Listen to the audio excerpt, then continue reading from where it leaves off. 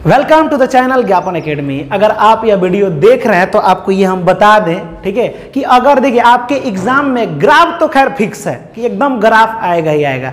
अगर आपको पाँच नंबर वहाँ से, यहाँ से हासिल करना है तो ग्राफ को ध्यान से समझिएगा। ग्राफ मुश्किल नहीं होता है। पूरा अगर देखा जाए मैथमेटिक्स में क्लास टेंथ में अगर पाँच नंबर वाला जितना भी क्वेश्चन पूछता है, उसमें सबसे कोई आसान होता है तो वो सिर्फ़ एक ग्राफ होता है। ठीक है? जो इजी वे में आप उस नंबर को हासिल कर सकते हैं। तो बिना देर किए हम लोग ग्राफ को पहले समझे कि आखिर ग्राफ बनता कैसे है। याद रखिए, ये थ्री लेसन है और थ्री लेसन के चैप्टर का ही नाम है दो चर वाला रैखिक समीकरण युग्म। युग्म का मतलब होता है जोड़ा। तो बताइए, इसमें दो गो चर भी है? चर का मतलब एबीसीडी का दो गो पार्ट ठीक है? युग्म माने होता है जोड़ा दो जोड़ा में दिया है।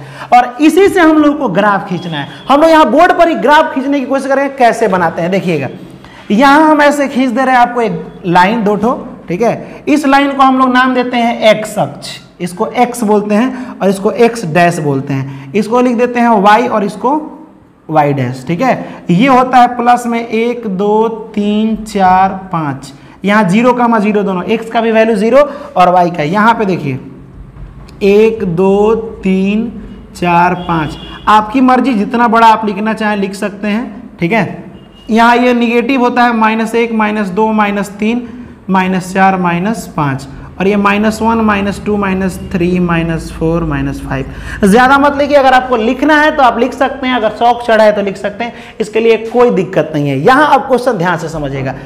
इस पहला इक्वेशन को आप सॉल्व कीजिएगा। X plus two Y is equal to four ठीक है? इस पहले इक्वेशन को सॉल्व करने के बाद इस पर लाइन खींचते हैं। आपको एक चीज़ हम बता दें कि यहाँ एक इक्वेशन को सॉल्व करने के बाद इसमें एक लाइन खिंचाएगा, फिर इसको सॉल्व करने के बाद दूसरा लाइन खिंचाएगा। ध्यान से देखिए, इस इक्वेशन को सॉल्व करते हैं। ये इक्वेशन है क्या? ग्राफ में एक चीज़ ज़िंदगी भर के लिए आप रट लीजिए, ठीक है? कुछ कुछ चीज़ें रट लेना ही मतलब दिमाग में फिट कर लीजिए। इस ग्राफ में अपने मन से एक्स का वैल्यू कुछ भी भरिए। ठीक है? आपकी मर्ज़ी, जो आपको वर्ड अच्छा लगे, जो आपको नंबर अच्छा लगे, यहाँ भरिए। जब ए का भरिएगा वैल्यू तो सेकंड वाला अपने से निकल जाएगा हम यहाँ भर रहे हैं एक्स का वैल्यू ज़ीरो ठीक है? अगर यहाँ हम एक्स का वैल्यू ज़ीरो भरेंगे तो यहाँ देखिए ज़ीरो में टू जोड़ने से तो कोई फ़ायदा नहीं, खाली टू बच जाएगा। ठीक है? आई कट जाएगा दो दूना चार वाई बराबर कितना हो गया? दो हो गया। यानी एक डब्बा यहाँ हम बना लेते हैं, ठीक है? फ़र्स्ट वाला एक डब्बा में लिखते हैं। एक्स हो गया वाई हो गया, ठीक है? हम क्या भरे हैं? एक्स का वैल्यू अपने से ज़ीरो भरे हैं तो वाई का वैल्यू क्या मिल गया है? दो, ठीक है? इस इक्वेशन में। अब यहाँ पे एक एक बार देखिए, आसान तरीका ये है कि पहले ज़ीरो मान के चेक कर ज़ीरो भर के, अब बनाइए, ताकि एक बार में आपको सॉल्व हो जाएगा, जल्दी बनता है। इससे ठीक है आपको समय भी बचेगा। नहीं तो आपकी मर्ज़ी, अगर यहाँ पे कोई भी नंबर भरना चाहते हैं तो गलत नहीं होगा। लेकिन अगर बड़ा नंबर भरिएगा तो फिर आपको कटाने वगैरह में परेशानी आ सकता है और फंस जाइएगा तो फिर आपका समय निकल सकता है तो आप अपना समय भी बचाइए, ठीक है? यहाँ देखिए, एक बार एक्स का वैल्यू ज़ीरो अब एक बार वाई का वैल्यू ज़ीरो भरो। वाई बराबर अगर ज़ीरो भरिएगा, यहाँ ज़ीरो तो एक्स हो जाएगा ही अब plus two into zero equal to four Y का वैल्यू हम ज़ीरो भरे। तो x प्लस ज़ीरो में टू से गुणा कीजिएगा तो ज़ीरो बराबर फोर एक्स में ज़ीरो जोड़िएगा तो x से हो जाएगा x बराबर क्या है? चार। दोबारा x का वैल्यू आप ज़ीरो नहीं भर सकते।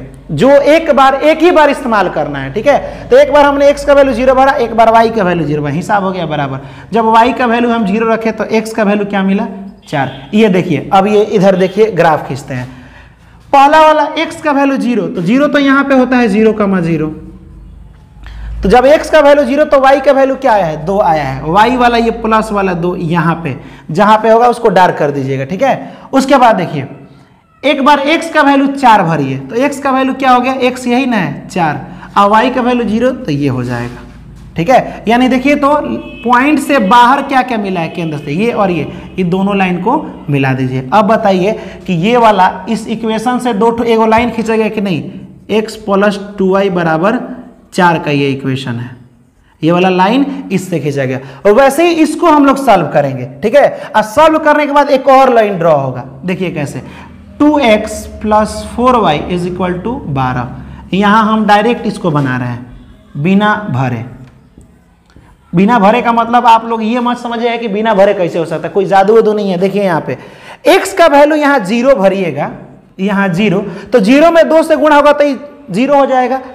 किसी अंक में ज़ीरो एगो ऐसा नंबर है, उसमें कोई भी उसके साथ गया गुणा के चक्कर में, ठीक है? तो बेचारा अपने जैसा बना देता है, ठीक है? तो यहाँ अगर आप ज़ीरो से मल्टीप्लाई करें तो ये तो खत्म हो गया ना? तो क्या बचेगा? चार वाई बराबर क्या बचा? बारह। इसको कटाइएगा तो हो जाएगा चार तिहाई बारह। वाई बराबर क्या होगा? तीन होगा। यानी कि एक्स बराबर अगर आप ज़ीरो रखें तो वाई बराबर मिला तीन। अब वाई बराबर ज़ीरो रखिए। तो जब आप वाई बराबर ज़ीरो रखेंगे, यहाँ y के जगह पर क्या लिखिएगा? ज़ीरो। तो चार में ज़ीरो से गुणा कीजिएगा तो ये भी तो खत्म हो गया ना। तो बच्चा टू एक्स ये भी हट जाता है। टू एक्स बराबर बारह बचा। और इसको कटाइएगा तो दो छक बारह। एक्स बराबर का आया? छः आया। एक्स बराबर कितना आया था?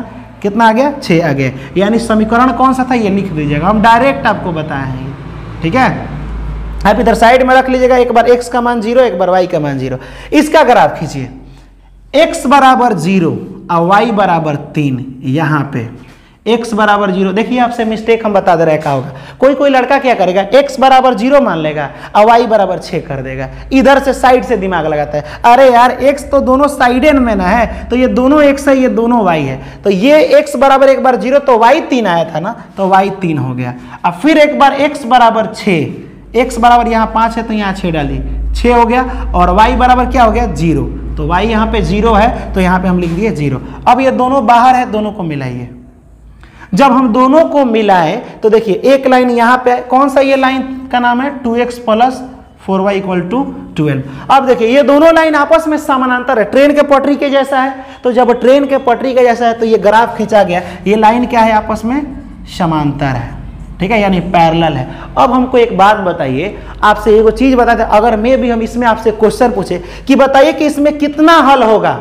तो एक भी हल नहीं होगा, क्योंकि हम बताए थे कि अगर दो ठो लाइन खींचा जा रहा है तो लाइन जितना जगह पे कटेगा, उतना हल होता है, यानी उतना सॉल्यूशन होता है। तो अब बताइए, यहाँ तो कोई कहीं पे नहीं कटा है ना? ये भी सीधा निकल गया, ये भी सीधा निकल गया। कहीं कटा ही नहीं तो इसका कोई हल नहीं होगा। यही लाइन अगर ऐसे एगो रहता एगो ऐसे कट जाता तो इसका क्या हो जाता? एक ठो एक जगह कटा है तो एक हल होता। अगर यही क्या होता, एक लाइन ऐसे है इसी पर एक और यही दूसरा लाइन हो जाता तो बताओ तो बहुत जगह सटा है ना? तो ये कटने का तो असंख्य हो जाएगा तो इसका अनेक हल होता है, ठीक है? तो यही ग्राफ आपको समझाना था, ऐसे ही ग्राफ बनता है। अब हम लोग देखते हैं थ्री पॉइंट वन में, ये ऐसे ही हम अपने से एग्ज़ाम्पल देकर समझाएँ। थ्री पॉइंट वन में क्वेश्चन नंबर एक, सबसे पहले क्वेश्चन को पढ़ के दो ठो हमको समीकरण निकाल लेना है। कोशिश ये करना है थ्री लेसन में यही तो मेन है।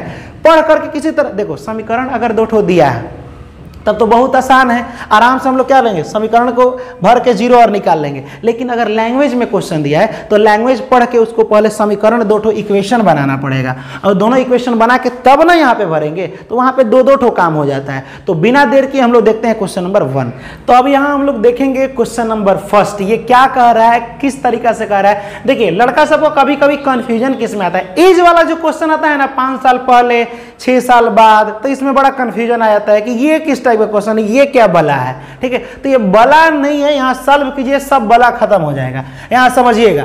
कह रहा है कि यहाँ पे आफ्ताब टेल हिज डॉटर, यानी कि आफ्ताब अपनी बेटी से कहता है, क्या कहता है यहाँ पे? कहा कि seven years ago I was seven times as old as you were then कह रहा है आफ्ताब क्या बोला है? बोला है कि देख बेटी, तुमसे सात साल, क्या बोला है जी? सेवन ईयर्स एगो पहले। ठीक है? यानी सात साल पहले, एगो माने एगो वाला मत समझना, ठीक है? सात साल पहले मैं तुमसे सात गुना था।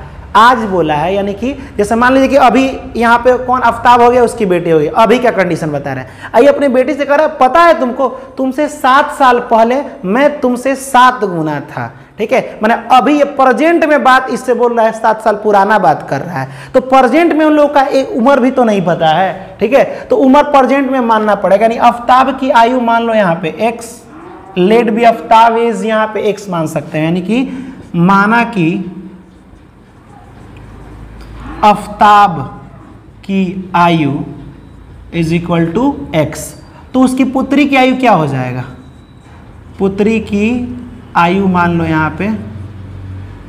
वाई।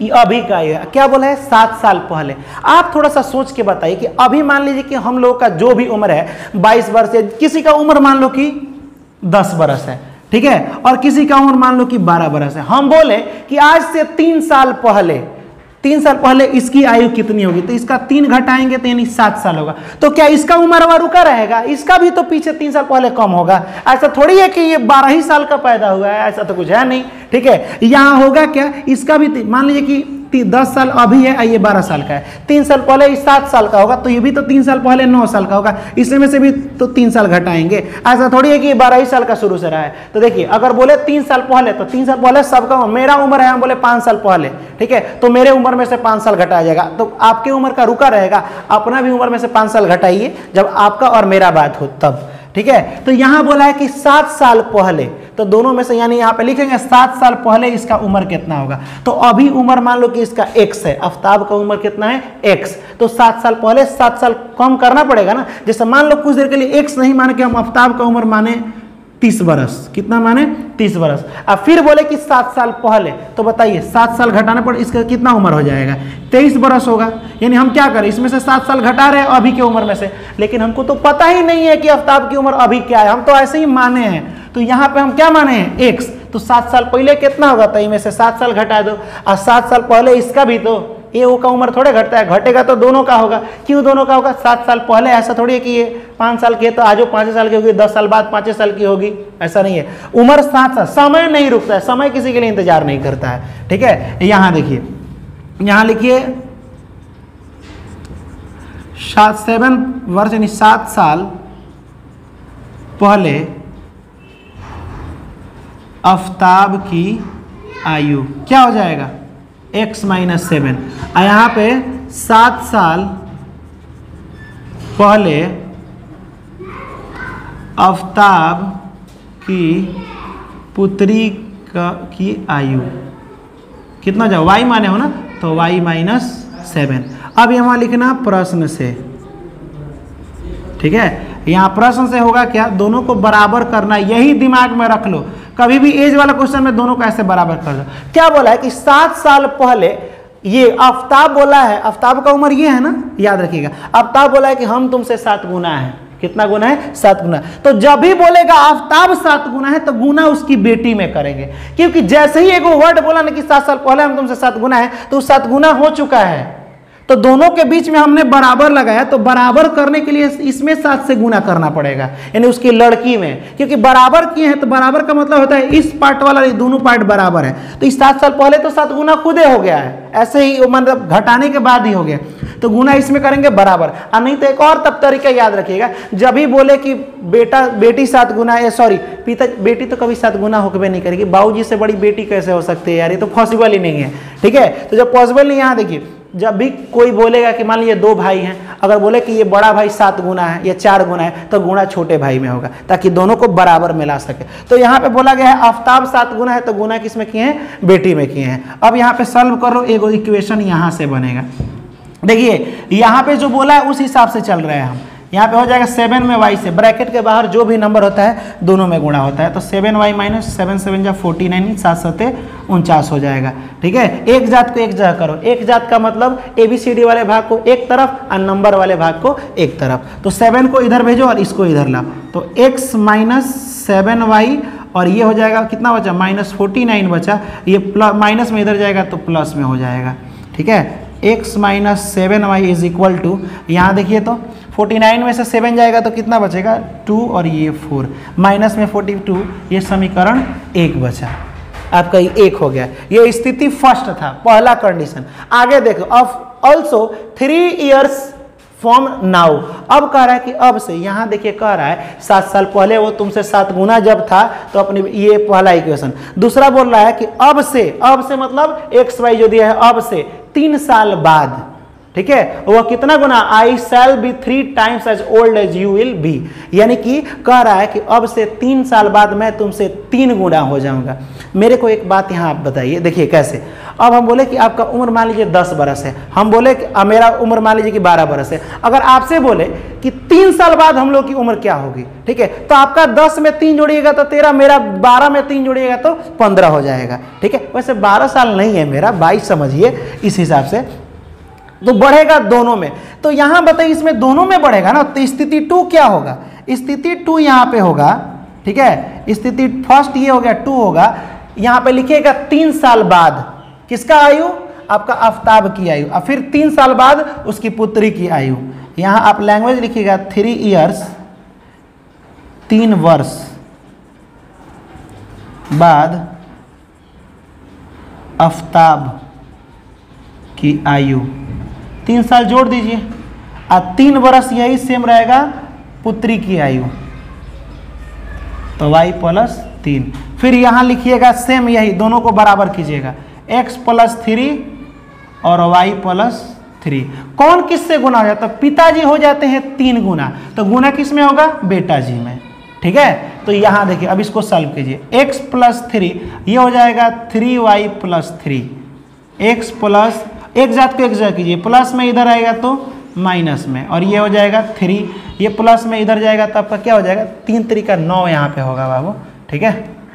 नाइन यहाँ पे थ्री हो जाएगा।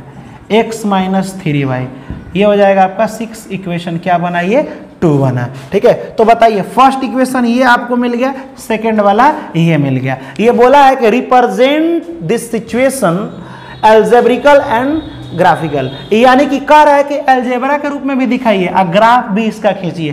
तो देखिए एल्जेबरा में तो हो गया। यहाँ पे देखिए, इसी को बोलते हैं एल्जेबरा एक ठो ये हो गया इक्वेशन ये। दो ठो आपका एल्जेबरा हो गया। अब इसका हम लोग को ग्राफ खींचना है। यानी प्लस वाला बना करके ऐसे, इसका क्या खींचना है? ग्राफ खींचना है। तो पहला इक्वेशन क्या है? यहाँ पे इसको आप नोट डाउन कर लीजिए स्क्रीन शॉट ले लीजिए, दोनों का ये ग्राफ दोनों का ये अल्जाबरा हो गया अल्जाबरिक एक्सप्रेशन यहाँ पे हो गया अब इसका हम लोग ग्राफ खींचेंगे एक्स का मान अपने से भरेंगे वाई का मान निकलेगा। सबसे पहले इसका स्क्रीन शॉट लीजिए, अब यहाँ पे हम लोग इसका खींचते हैं ग्राफ तो यहाँ देखिए इसका हम लोग ग्राफ कैसे खींचते हैं? ध्यान से समझिए, क्योंकि यहाँ से पाँच नंबर फिक्स है। अगर ये दिमाग में आपके फिक्स है तो पाँच नंबर भी फिक्स है।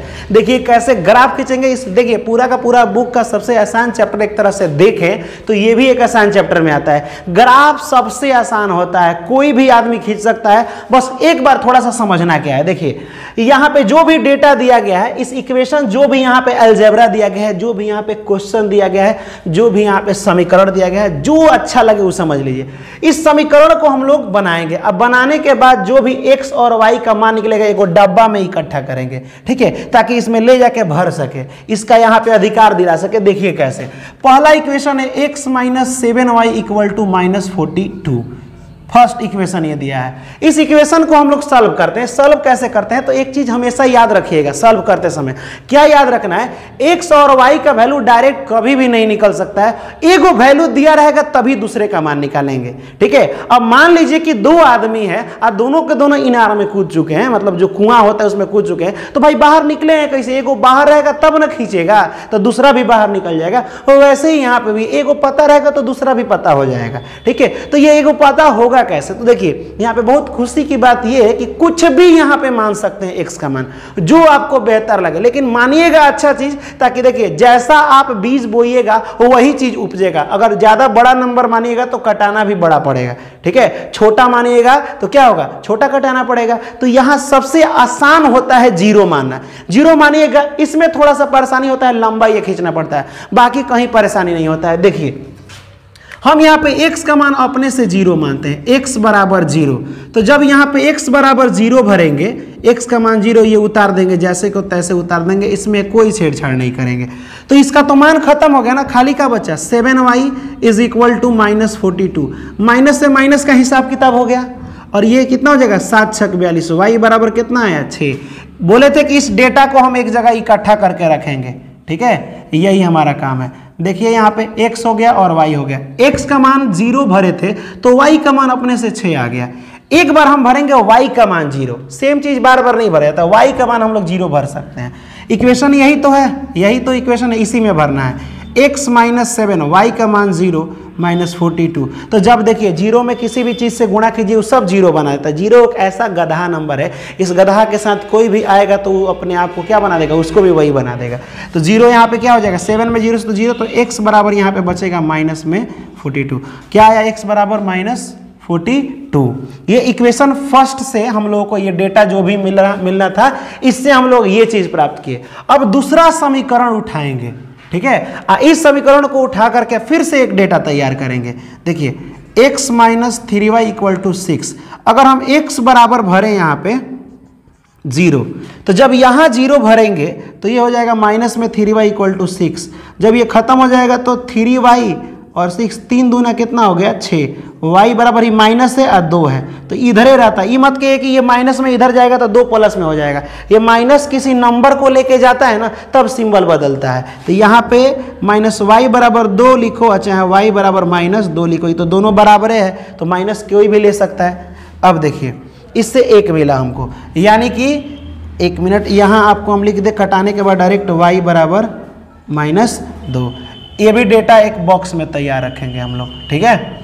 एक्स और वाई जब हमने एक्स का मान ज़ीरो रखा तो वाई बराबर माइनस दो आया, ठीक है? अब इसी इक्वेशन में, यहाँ पे हम लोग क्या रखेंगे? इस इक्वेशन में एक बार एक्स ज़ीरो था, अब वाई ज़ीरो रखेंगे तो x minus three into y बराबर हम मान लेते हैं यहाँ पे ज़ीरो तो यहाँ पे हो जाएगा एक्स ज़ीरो में थ्री से गुणा तो ज़ीरो ही तो हट जाएगा। लिखने से क्या फ़ायदा? ज़ीरो में गुणा होता है सब खत्म हो जाता है। एक्स बराबर क्या हो गया? सिक्स यहाँ वाई बराबर ज़ीरो तो एक्स बराबर क्या है सिक्स अब देखिए, यहीं से मेन काम शुरू होता है, ठीक है? कभी भी आपको इक्वेशन बनाना हो तो हमेशा ज़ीरो मान के बनाइएगा तो आप सॉल्व कर लीजिएगा। रियर केस में कोई ऐसा क्वेश्चन आ जाता है, जो कि दूसरा नंबर मानना पड़ता है तो आपके पास तो बहुत सारा ऑप्शन है। कोई भी नंबर मानिए, जिससे ये सॉल्व हो जाए। बड़ा बड़ा नंबर मांगिएगा ये कटाइएगा, बट्टा में आएगा, लफड़ा बढ़ेगा। इसलिए ज़ीरो मानते हैं। इसको, इस डेटा को ग्राफ पे कैसे लिखते हैं? देखिए एक दो तीन यहाँ पे हम लोग लिख सकते हैं, लेकिन लंबा लंबा नंबर है। बयालीस माइनस में है इधर वाला माइनस होता है, यानी कि ये होता है माइनस में एक्स और ये प्लस में एक्स होता है। ये प्लस में वाई इधर माइनस में वाई बहुत लोग इसे वाई डैश में लिखते हैं। ठीक है? अब बयालीस माइनस में लिखना होगा। देखिए, ऊपर ये एक्स वाला पार्ट है, ये वाला वाई वाला पार्ट है। बताए थे एक्स ऐसे लिखा जाता है। दाएँ से बाएँ के तरफ़ जाते हैं तो दाएँ बाएँ वाला एक्स वाई ऊपर से नीचे जाते हैं तो ऊपर से नीचे वाई वाला में जाते हैं, इसीलिए वाई वाला पार्ट ऊपर नीचे वाला हो गया। ठीक है? ये कोई मतलब ये देखा जाए तो कोई वैज्ञानिक नहीं बोले हैं, बस ये हम आपको लॉजिकली बता रहे हैं। ठीक है? यहाँ देखिए, यहाँ हो जाएगा दस ले रहे हैं, क्योंकि बयालीस तो होगा नहीं, इतना लंबा कहाँ तक खींचते जाएँगे, ठीक है? तो दस का अंतराल लीजिए, दस, बीस, तीस, चालीस, ठीक है? पचास पचास तक ले लीजिए, ये भी हो, ये माइनस में होता है, माइनस में दस, माइनस बीस, माइनस तीस, माइनस चालीस, माइनस पचास, ये माइनस दस, माइनस बीस, माइनस तीस, माइनस चालीस, माइनस पचास, ये होता है दस, बीस तीस, चालीस, पचास। भर लीजिए अब। एक्स का मान ज़ीरो। एक्स और वाई अगर ज़ीरो बोलो तो यहाँ ही होगा। और वाई का मान सिक्स तो देखिए, बीच में ज़ीरो यहाँ पे है और दस यहाँ पे तो बीच में होगा पाँच। अब पाँच के एक थोड़ा सा आगे क्या होगा? छः होगा। यानी वाई का मान छः। ये वाला वाई है प्लस में वाई है। X का मान माइनस बयालीस तो इधर वाला x, ये वाला लाइन है, और माइनस पार्ट इधर है, प्लस पार्ट उधर है तो बयालीस है तो पैंतालीस यहाँ पे हो जाएगा चालीस पचास के बीच में पैंतालीस, और इकतालीस, और ये हो जाएगा बयालीस। अब देखिए, एक बार ज़ीरो यहाँ पे था, x का मान बयालीस हो गया वाई का मान क्या होगा वाई और एक्स ज़ीरो यहीं पे होता है। अब हमको बताइए सेंटर से बाहर कौन कौन अंक मिला? एक ठो ये मिला और एक ठो ये मिला, ये दोनों को मिला दीजिए। ठीक है? हमने इसको क्या किया? मिला दिया। ठीक है? हमको ज़्यादा कुछ नहीं करना है। इसमें आपको ग्राफ में सटीक मिलेगा, उसको मिला लीजिएगा। ठीक है? ये वाला था माइनस बयालीस कमा ज़ीरो और ये वाला था ज़ीरो कमा सिक्स। ये वाला पार्ट हमको मिला है। यहाँ तक हम मिलाएँ आगे भी बढ़ा सकते हैं। उसके बाद अब इसका मिलाइए। इसका एक ग्राफ से एक लाइन खींच दिए। सेकंड वाला, एक्स बराबर ज़ीरो और वाई बराबर माइनस में दो। तो माइनस यहाँ पे मान लीजिए पाँच हो जाएगा तो दो यहाँ पे हो जाएगा। ठीक, अब x बराबर छः, पाँच के बाद क्या हो जाएगा? ये बीच में होगा पाँच तो यहाँ हो जाएगा छः। अब y का मान ज़ीरो होगा ही। देखिए, यहाँ पे ज़ीरो था और ये पाँच, दो आया। माइनस में दो, ये माइनस वाला वाई है। फिर एक्स का मान पाँच और एक, छः, ये एक्स वाला पार्ट है। ये भी एक्स वाला, लेकिन ये प्लस वाला एक्स है, ये माइनस वाला। तो हमको एक्स वाला प्लस चाहिए। तो बीच में दस और ज़ीरो और दस के बीच पाँच होता है तो ये हो जाएगा छः, और वाई का मान ज़ीरो है। तो देखिए, यहाँ दो ठो पॉइंट मिला। एक ठो ये बाहर था, एक ठो ये दोनों पॉइंट को आप मिला दीजिए। ठीक है? ऐसे खींच दीजिए। ठीक है? तो आप बताइए, इस इक्वेशन से हम लोग को पहला वाला इक्वेशन से ये मिला था। एक्स माइनस सेवन वाई बराबर माइनस फोर्टी टू ये इस लाइन का नाम है, और सेकेंड वाले लाइन वाला है, कौन सा है? X minus three y equal to six आप इस पॉइंट का नाम भी यहाँ करके लिख सकते हैं। इसका नाम क्या था? तो सिक्स कमा ज़ीरो था, और इस पॉइंट का क्या नाम था? यहीं पे जगह है तो लिखे नहीं तो यहाँ पे लिख लिए इस पॉइंट का नाम था आपका ज़ीरो कमा माइनस दो। ठीक है? तो हो गया आपका ग्राफ, ठीक है? आप इसको और लंबा आगे खींचना चाहते हैं तो जितना लंबा ले जाना चाहते हैं, ग्राफ पर खींच सकते हैं। तो उम्मीद करते हैं कि ग्राफ ये समझ में आया होगा। तो बिना देर के हम लोग देखते हैं सेकंड नंबर क्वेश्चन अब हम लोग देखते हैं क्वेश्चन नंबर थ्री आखिर ये क्या कह रहा है? उससे पहले एक चीज़ हम आपको समझा दें। देखिए, अगर हम बोले कि एक बैट का दाम, बैट समझ रहे हैं ना? वो, उसका दाम अगर मान लीजिए कि दो रुपया का एक बैट मिल रहा है, ठीक? और आपने दो रुपये का बैट, एक ठो बैट का दाम दो रुपया है और आप तीन बैट खरीदे तो इसका मतलब क्या हुआ? यानी तीन तो तीन ना छः रुपया आपको लगेगा। आपने क्या किया? दो में तीन से गुणा कर दिया। दो यहाँ पे हो गया आपका बैट का दाम, या दो रुपये एक बैट का दाम, और तीन को बैट खरीदना है। आपने गुणा कर दिया। वैसे ही इस टाइप का क्वेश्चन में वैसे ही सॉल्व होगा सेम पहले हम लोग क्वेश्चन को समझ लेते हैं, ठीक है? उसके बाद से हम लोग सॉल्व करेंगे। ये देखिएगा, इसको भी ग्राफ पर भी बनाना है और एल्जाब्रिक एक्सप्रेशन यानी कि एल्जाब्रिकल भी बनाना है सबसे पहले एल्जेब्रिकल का मतलब आप समझ लीजिए, यानी जो बीज गणितीय रूप होता है बीज गणितीय रूप में उसका समीकरण आपको तैयार कर दिए तो ये हो गया आपका क्या? एल्जेब्रिकल उसके बाद से अगर उसका ग्राफ पर खींच दे रहे हैं तो होगा जैमेट्रिकल यानी कि जैमितीय उस तरह हो जाएगा। ठीक है? आप जैमितीय रूप उसका ग्राफ बढ़िया से डिटरमाइंड आपको कर देना है, दिखा देना है। अब देखिए the coach of a cricket team buy three bats and six ball जो एक कोच है, वो खरीदती है तीन बैट और सिक्स बॉल यानी कि तीन ठो क्या खरीदे बैट खरीदिए और छह बॉल खरीदिए for three thousand nine hundred यानी उनतालीस सौ रुपये लगा है. यानी तीन ठो बैट खरीदने में, यहाँ आप समझिए कि ये बैट है, ठीक है? और ये तीन ठो बैट हो गया आपका, ठीक है? तीन ठो बैट और सिक्स बॉल खरीदने में इस सब का दाम दोनों को मिला करके दाम कितना लगा है? थर्टी नाइन हंड्रेड, यानी थ्री थाउज़ेंड नाइन हंड्रेड इतना लगा है। अब बताइए, हमको ये थोड़े पता है कि एगो बैट का दाम कितना है? या एगो अगर एगो का पता रहता कि 500 है तो ये 1500 ये हो जाता और इसका 100 गो होता तो एक, दो, तीन, चार, पाँच छः सौ ये होता। तो 15 और छः इक्कीस सौ हो जाता है। लेकिन यहाँ उनतालीस, यहाँ पते नहीं है कितना है। ठीक है? तो जब नहीं पता है तो हम लोग इसको कुछ मानेंगे। ठीक है? अगर मान लीजिए कि एक बैट का दाम एक्स मान लें तो बैट का है तीन गो तो तीन एक्स हो जाएगा। अब प्लस करेंगे। एक बॉल का दाम अगर हम वाई मान लें, अब बॉल कितना है? सिक्स तो सिक्स वाई और दोनों दाम को मिला करके कितना हो जाएगा? उनतालीस सौ रुपये हो जाएगा। ठीक है? तो ये उम्मीद करते हैं कि आपको समझ में आया होगा। एक बॉल का दाम एक सौ रुपया तो तीन बॉल का दाम तो गुणा होगा। कैसे? मान लीजिए कि एक बॉल का दाम अगर, बैट का दाम अगर दो रुपया है तो तीन का पूछेंगे तो आप तीन से गुणा करेंगे कि नहीं? तीन दूना छः रुपया हो जाएगा। वैसे ही एक बैट का दाम मान लो दो रुपया है तो तीन को बैट का दाम छः रुपया, वैसे ही यहाँ पे यही भी हो जाएगा, ठीक है? एक्स के अकॉर्डिंग हम लोग बनाएँगे। अब देखिए सिचुएसन ये क्रिएट यहाँ पे होता है, ठीक है? अब यहाँ पर डीपली हम लोग कैसे समझेंगे, वो हम आपको बता रहे हैं। सबसे पहले मानिए यहाँ पे बैट का दाम, ठीक है? Let be the cost of one bat is x rupees यानी कि माना कि एक बल्ला का दाम, ठीक है, वो बल्ला मत समझिएगा, ठीक है? बल्ला का दाम एक्स रुपया है और यहाँ पे गेंद का दाम कितना है? तथा गेंद का दाम वाई रुपीज़ अब यहाँ अकॉर्डिंग टू क्वेश्चन हम लोग चलते हैं पूरा यहाँ पे। यानी कि प्रश्न से। तीन बैट और छः बल्ला तो हो जाएगा तीन बैट एक्स है तो यहाँ पे हो जाएगा three x plus six y बराबर उनतालीस सौ रुपये ठीक है? उसके बाद से कह रहा है लेटर, फिर बाद में she buy another bat and three, more balls of the same kind of, यहाँ पे लिखा है थर्टी हंड्रेड समझो, थर्टीन हंड्रेड यानी कि तेरह सौ रुपए। यानी कह रहा है कि फिर वो खरीदी है, एक बल्ला खरीदी है और तीन बैट खरीदी तो एक बल्ला यानी कि एक एक्स और तीन बॉल यानी कि थ्री वाई और दोनों को मिला के कितना है? तेरह सौ रुपये है। ठीक है? तो ये इक्वेशन दो हो गया आपका। ठीक है? ये समीकरण एक, ये समीकरण दो। आप यहाँ पे क्या बना लिए एल्जबरा तो थोड़ा आपने सॉल्व तो कर ही लिया। अब इसको सल्व करेंगे। अब बताइए वन नहीं लिखते हैं हम लोग, ठीक है? वन में एक से गुणा करो तो वन अब बताइए कि आपको हम पहले ही बता चुके हैं कि अगर दो ठो इक्वेशन दिया हो ठीक है? तो उसको सॉल्व कैसे करते हैं? आप कई तरीका से देखिए एक्स और वाई किसी का एक का वैल्यू कुछ भी रखिए, जो आपके दिमाग में आए, वो रखिए। या फिर कोई कोई नया नया विधि से भी बनता है, ठीक है? एक्स का मान निकाल के इसमें ले जाकर भर दीजिए। आपके अकॉर्डिंग जो समझ में आए, कीजिएगा, इसका ग्राफ खींचना है। देखिए, एक इक्वेशन को सॉल्व करेंगे और इससे जो मिलेगा, उसे एक बॉक्स में इकट्ठा करके रखेंगे। इस बॉक्स में हम लोग रखेंगे इकट्ठा करके।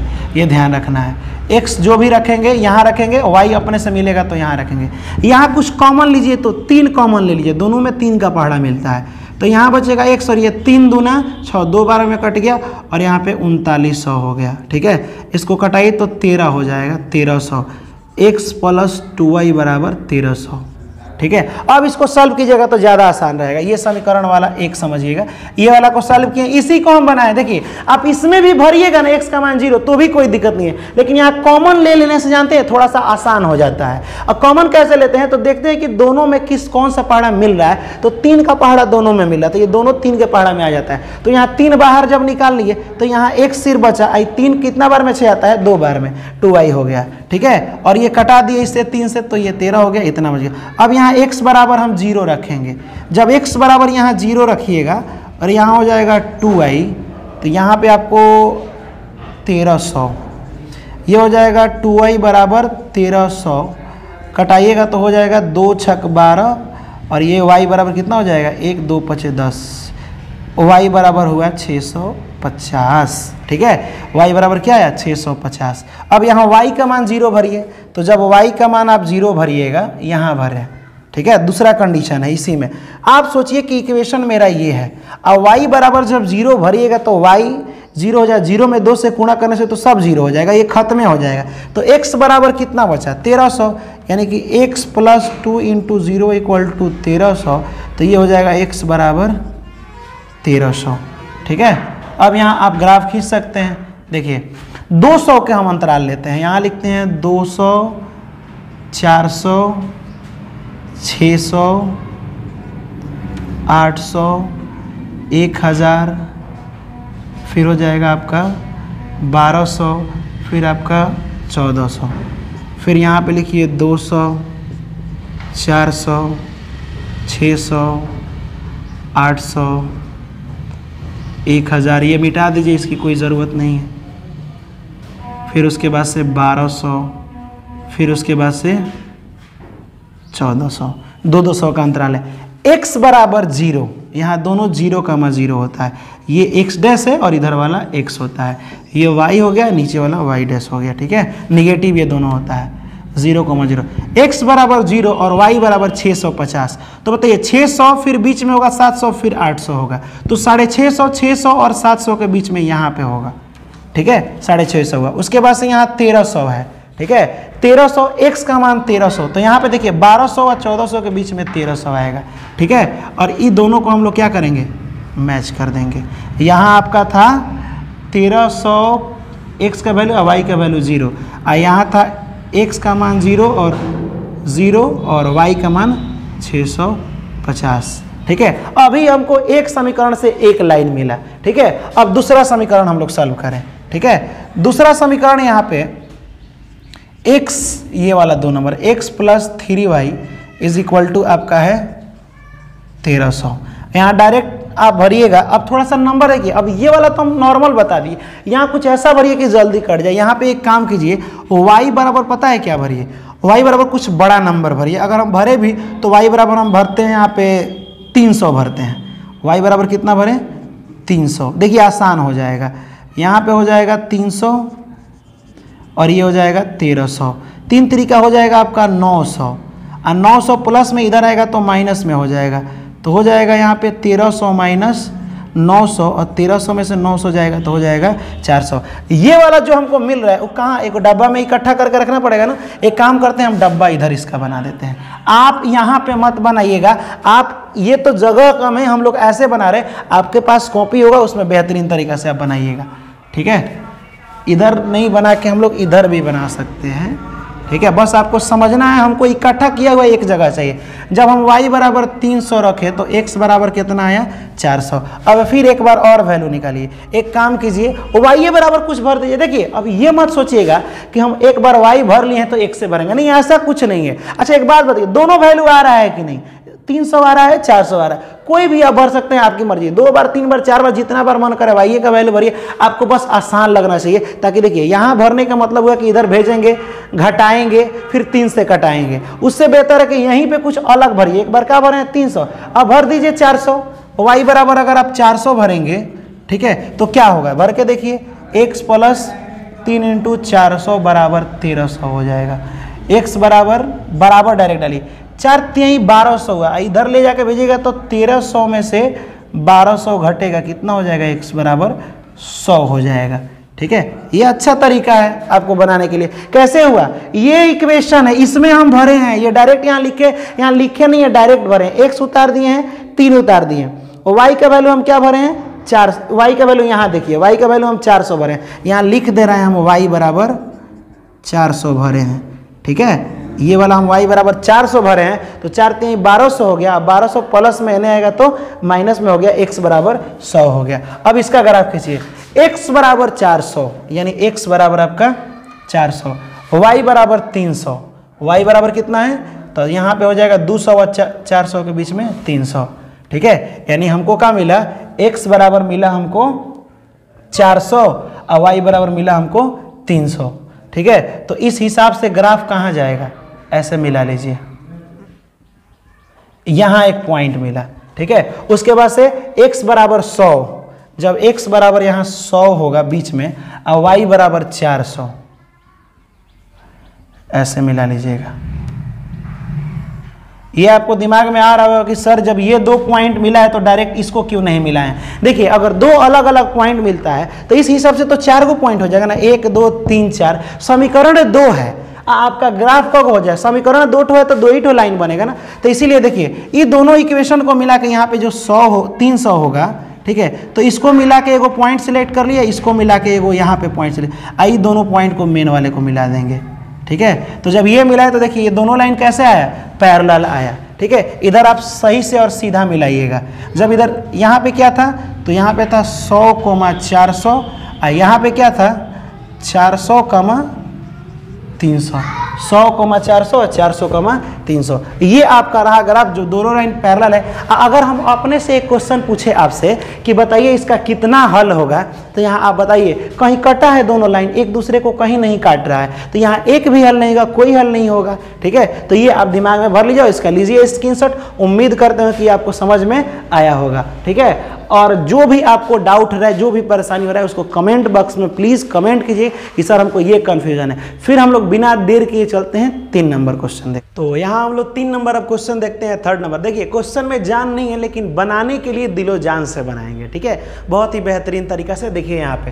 क्वेश्चन आप लोग पढ़ चुके अच्छा आपसे अगर एक क्वेश्चन पूछे, मान लीजिए कि हम आपसे पूछे कि दो किलो किसी चीज़ के या तीन किलो किसी, मान लीजिए कि तीन किलो चीनी का दाम बताइए। ऐसे अगर पूछे तो कोई बता सकता है। कोई नहीं बता सकता है, क्योंकि पता तो होना चाहिए कि चीनी क रुपये किलो है, ठीक है? यहाँ पे अगर बोले कि दो रुपये किलो चीनी है, यानी कि क रुपये किलो चीनी है, एक किलो चीनी का दाम दो रुपया है तो तीन किलो चीनी का दाम तो यहाँ एक किलो का दाम पता है, यानी एक किलो का दाम पता है तो तीन के चीनी का दाम तीन दूना छः रुपये हो जाएगा, ठीक है? उसी तरह यहाँ पे बोला है कि दो के हमारे पास एप्पल है। ठीक है? और एक K G grapes on a day was founded to be 116 यहाँ पे बोला जा रहा है कि दो की दो के जी सेव और एक के जी जो ग्रेप्स है, अंगूर है, ये दोनों का दामुआ मिलाया गया है तो एक सौ साठ रुपये का पड़ा है। अब बताइए, हम लोगों को पता है कि दो किलो सेव का दाम कितना है? ठीक है? अगर मान लीजिए कि दो, एक किलो सेव का दाम अगर दो रुपया रहता तो दो किलो का दाम दो में दो से गुणा कर देते, चार हो जाता। है ठीक है? इसमें गुणा कर देते। लेकिन नहीं पता है तो अगर यहाँ एक्स मानेंगे, एक किलो का दाम अगर मान ले यहाँ पे एक्स तो दो किलो का दाम कितना हो जाएगा? दो में एक से इससे इससे गुणा हो जाएगा, दो एक्स उसी तरह अगर मान ले हम एक किलो ग्रैप्स का दाम मान लें वाई रुपया, ठीक है? तो एक किलो का दाम वाई रह जाएगा, ठीक है? अब दोनों यहाँ पे लगा है गुणा करने के बाद, आप बताइए। यहाँ पे हम आपको बताए थे कि एक किलो का दाम मान लीजिए दो रुपया है तो दो किलो का दो दूना कितना हो जाएगा? चार रुपया हो जाएगा। अगर हम मान लें एक किलो का दाम फिर दो रुपया तो ये भी हो जाएगा दो रुपया। चार आदू कितना हो गया? छः वैसे ही ये बोल रहा है कि इसका दाम और इसका दाम, दोनों दाम निकल जाए। उसके बाद से अगर मिलाएँ तो कितना रुपया हो रहा है? एक सौ यानी दो किलो सेब का दाम और एक किलो अंगूर का दाम दोनों को हम मिलाएँ तो कितना हो रहा है? एक सौ साठ रुपया। जोड़ने के बाद होता है। तो यहाँ पर सबसे पहले हम मानेंगे, एक किलो का दाम नहीं पता है तो मानेंगे यहाँ let be.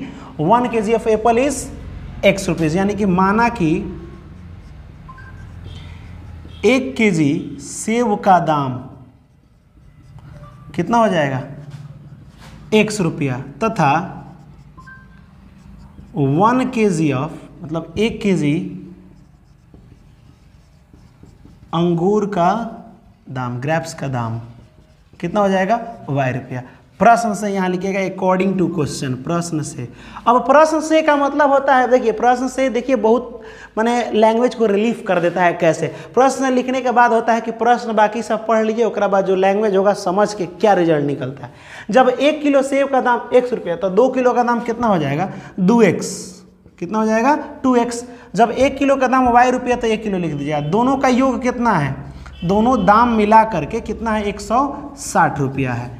सेम वैसे ही देखिए, चार के जी सेव था एक किलो का दाम एक सौ रुपया था, चार के जी का दाम चार एक्स, चार में एक से गुणा, चार एक्स हो जाएगा। प्लस यहाँ एक के जी का दाम है, एक के जी अंगूर का दाम वाई रुपया, यानी एक किलो अगर अंगूर मार्केट में खरीदने जा रहे हैं तो वाई रुपया देना पड़ रहा है। तो दो किलो खरीदेंगे तो जितना दाम होगा, उतना में गुणा होगा तो हो जाएगा ये कितना?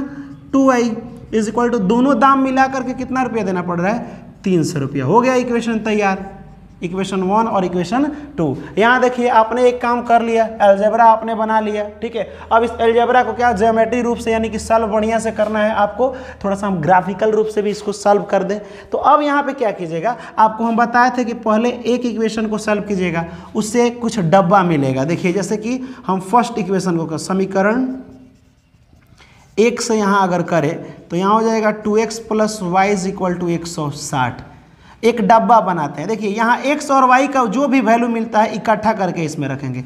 अगर अपने से, बताए थे ना, अपने से अगर एक्स का वैल्यू यहाँ ज़ीरो रखें, क्या रखेंगे एक्स का वैल्यू ज़ीरो तो यहाँ आप सोचिए कि टू एक्स का वैल्यू अगर ज़ीरो रखिएगा, ठीक है तो वाई का वैल्यू क्या होगा? दो में ज़ीरो से गुणा करोगे, क्या हो जाएगा? ज़ीरो हो जाएगा। तो वाई बराबर सिर्फ़ क्या बचेगा? वाई बराबर बचेगा एक सौ साठ। आपको एक मिला ये, एक सौ साठ। एक बार वाई बराबर ज़ीरो रखिए। तो जब y बराबर ज़ीरो यहाँ रखिएगा तो ये खत्म हो जाएगा तो क्या बचेगा? यानी कि 2x एक्स प्लस ज़ीरो बराबर हो जाएगा 160 तो 2x बराबर हो जाएगा 160 सौ यहाँ हो जाएगा 80 x बराबर क्या हो गया अस्सी रुपये यानी कि हम जब y बराबर ज़ीरो रखे तो x बराबर क्या मिला? अस्सी मिला। ठीक है? एक, ये इक्वेशन हो गया। हमको डब्बा में सब हम कलेक्ट कर लिए। अब यहाँ ग्राफ के अकॉर्डिंग हम लोग देखें। ठीक है? तो ग्राफ इस पर आ जाना चाहिए। यहाँ हम भर रहे हैं ज़ीरो। ज़ीरो कमा ज़ीरो होता है। देखिए बड़ा बड़ा नंबर आ रहा है तो एक दो से काम नहीं चलेगा। हम एक काम करते हैं, पचास का अंतराल लेते हैं। ठीक है? सही रहेगा। यहाँ पे लिखते हैं पचास, सौ, एक सौ पचास और फिर क्या हो जाएगा?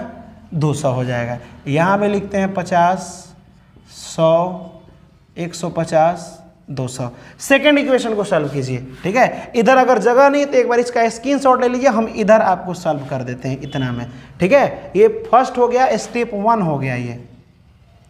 ये वाला आपका स्टेप वन हो गया। अब स्टेप टू देखिए। यहाँ पे टू क्या कह रहा है? अब इसको सॉल्व कीजिए। यहाँ लिख रहे हैं four x plus two y is equal to three hundred ठीक है? इसका एक डब्बा यहाँ हम लोग बना लेते हैं। डब्बा बनाने के बाद यहाँ एक्स और यहाँ वाई जब एक्स का वैल्यू हम ज़ीरो भरेंगे, देखिए, कोशिश कोई भी आप भर सकते हैं, लेकिन कोशिश किया जाता है, ठीक है, कि ज़ीरो भरे, ताकि जल्दी कट जाए, जल्दी सॉल्व हो जाए। नहीं तो फिर तो आप कुछ भी, आपकी मर्ज़ी, जो मन करे वो भर सकते हैं। जब यहाँ पे आप x बराबर ज़ीरो भरिएगा, ध्यान से देखिए, जब यहाँ x का मान ज़ीरो भरिएगा तो ज़ीरो में चार से गुणा कीजिएगा तो ज़ीरो हुए हो जाएगा। यहाँ खत्म हो गया कहानी। यहाँ बचा टू वाई यहाँ बचा तीन सौ। दो से कटाइएगा तो ये हो जाएगा एक सौ पचास। वाई बराबर कितना हो जा रहा है? एक सौ पचास। ये डायरेक्ट हम सॉल्व किए हैं। ठीक है? अब इस हिसाब से, अब इसको मिटा भी दें। साफ़ जो है लिख दें। ठीक? अब बताइए, एक बार हम y का मान ज़ीरो भरें। तो जिसका मान ज़ीरो भरते हैं, वो उसके पड़ोस वाला सब ज़ीरो बना देता है। तो जब y का मान ज़ीरो भरिएगा तो इसका भी वैल्यू खत्म। यहाँ बचेगा कितना?